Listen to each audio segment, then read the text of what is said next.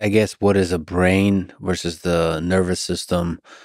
Like where is most of the cognition computation going on? Yeah. Yeah.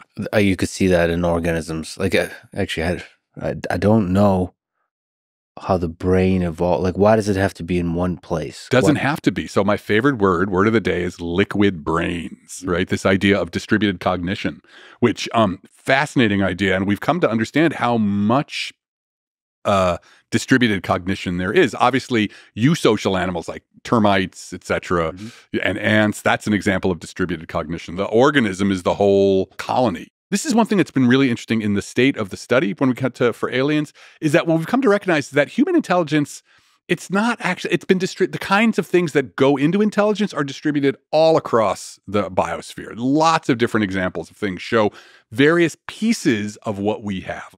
Jason Wright will describe it as like a deck of cards. The cards are all there. We got the hand that actually led to the kind of technological progress that we we see. But the kinds of you know the basic idea of using tools the basic idea of recognizing each other eye to eye all the things that we define as intelligence you can find many places in many other um, uh, places across many other line lineages across the earth. So it could be they could be very very different with something like yeah maybe that's you know the hive mind idea or you know bacterial colonies that actually manage to you know come to their own version of high cognition. Well, I wonder if there's if we stretch out time across tens, 20, 20 billion years, whether there's an Darwinian evolution stops working at some point in terms of the biology or the chemistry of the organisms and it switches to ideas, for Yeah. example. It much more rapidly you're operating maybe I guess it's a kind of Darwinian evolution on the space of memes or whatever as as, as, as it should op- Technology seems to operate on in in in you know, but certainly markets can operate in ways that look very Darwinian. So basically, a planet is working hard to get to uh, the first kind of organism that's able to be a nice platform for ideas to compete. Yeah. And then it kind of stops evolving there.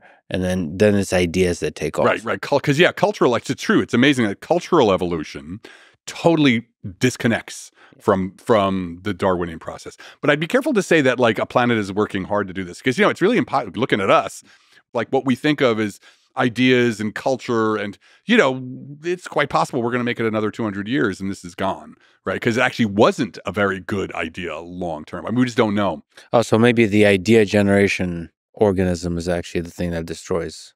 not the biosphere because again but it destroys itself it may not be very long term it may be very potent for a short period of time but that it's not sustainable it doesn't become like we were talking about before mature it's very hard to make it into integrated into a mature bio slash technosphere. And of course you know evolution is not working for anything. Well here's the actually interesting thing right? So people are very much you know evolutionary biologists will get very their hair will stand on end if you start talking about evolution having a purpose or anything.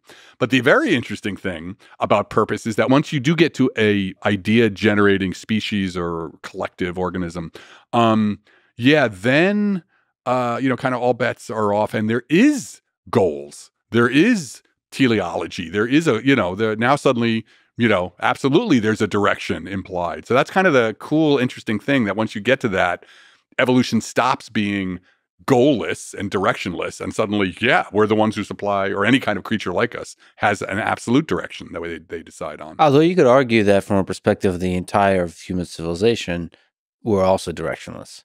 We have a sense that there's a direction in this cluster of humans. yeah And then there's another cluster that has a different sense of direction. There's all kinds of religions that are competing.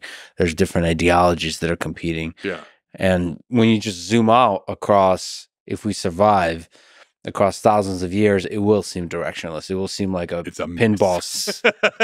it's an unholy mess but you know but at some point like the expansion into the solar system say like that would be both direction i mean depending on how you look at it it was directional. There was a there was a decision that the collective of human beings made to like anti-accrete to mm-hmm. start spreading out into the solar system. So there was definitely a goal there that may have been reached in some crazy sort of you know non-linear way but it was still right? There was still it's still a goal was set and it was achieved